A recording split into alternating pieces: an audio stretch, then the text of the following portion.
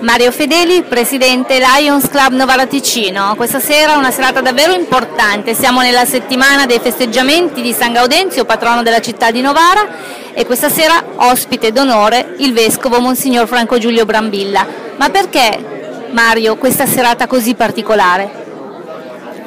Eh, buonasera, eh, ma diciamo intanto eh, che ci è sembrato il, la cosa più bella e normale invitare eh, Monsignor Brambilla, nostro vescovo, in occasione della nostra festa patronale. E poi eh, perché proprio in questa festa patronale, in occasione del nostro centenario, centenario del Lions Club International, eh, vogliamo riconoscere al nostro vescovo quello che è la massima onorificenza lionistica, è il Melvin Jones, per tutta l'attività che ha fatto finora sia per la fame sia soprattutto per i giovani e questa ci è sembrata quindi l'occasione migliore e più adatta per farlo.